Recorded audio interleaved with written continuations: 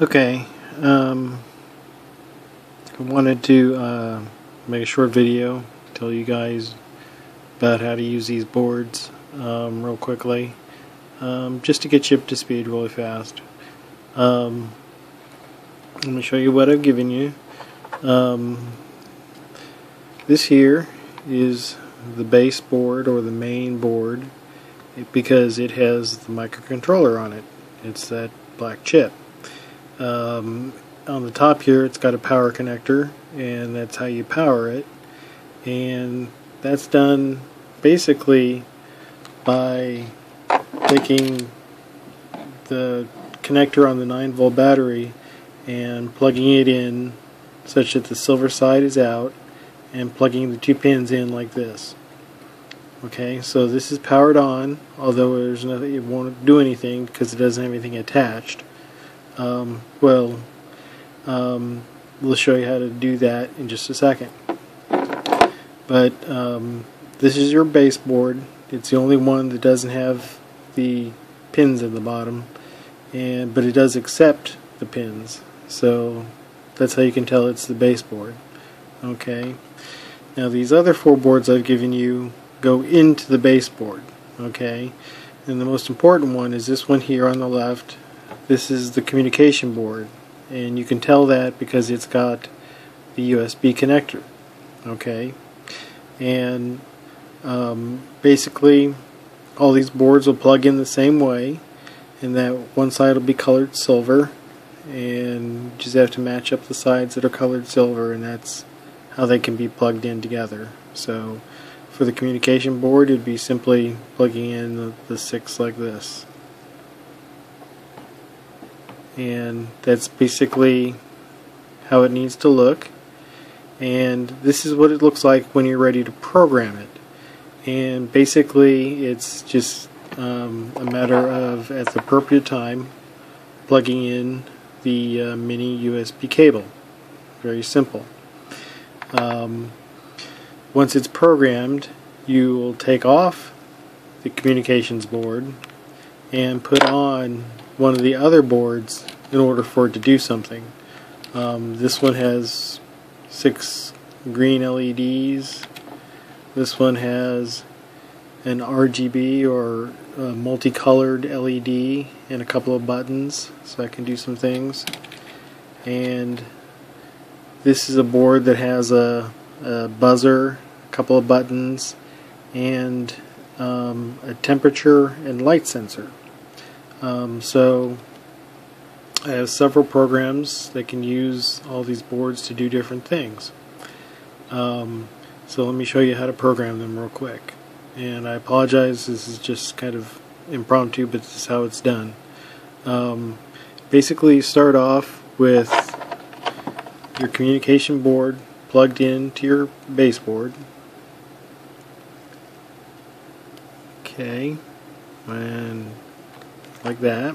Okay, now it's ready to be programmed. Let's go to the computer. I apologize for this, but it'll be kind of crude. Um, basically, what you need to do is on the software I gave you, there's a directory called Arduino, and you'll want to run this exe here. And let me run it.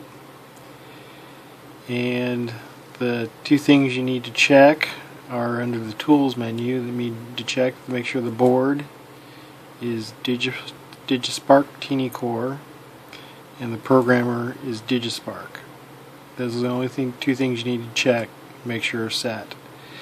Otherwise, you can open up under examples, sketchbook, fidget examples, and notice I have the programs broken out depending on which board it needs in order to run.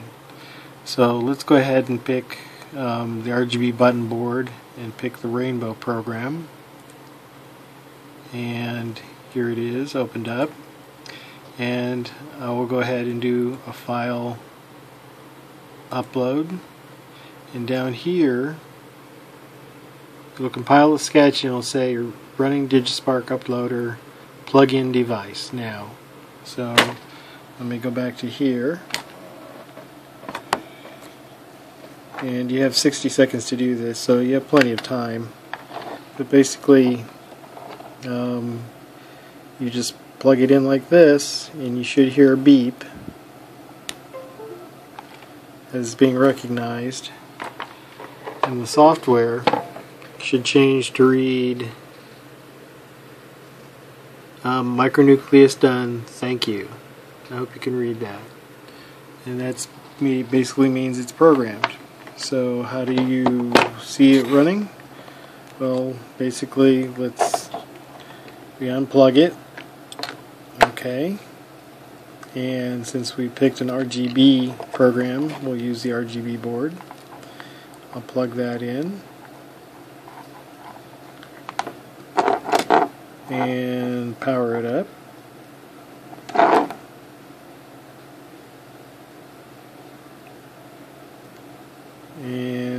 it starts the RGB program. It's a rainbow program. It'll change colors slowly and it's very bright. But um, um, we'll let that run for just a couple of seconds.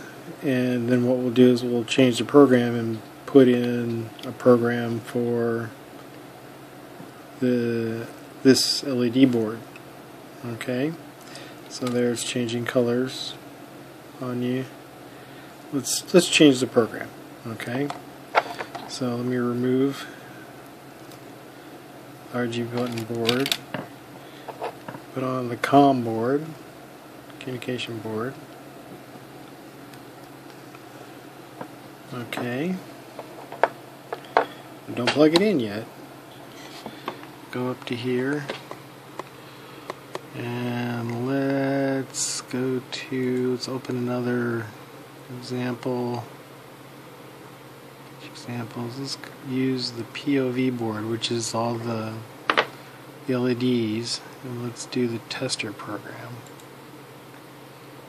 So we do the tester program and let's hit file upload. It'll say running, waiting to upload plugin device. Go back here. Plug in the device.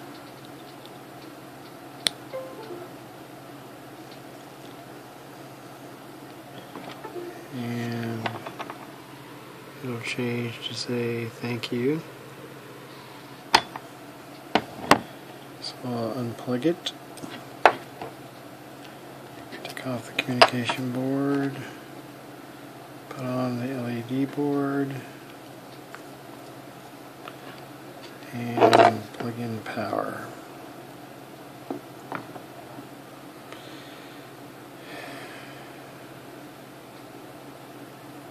And there you go. It's running a different program. Um, that's basically all there is to it.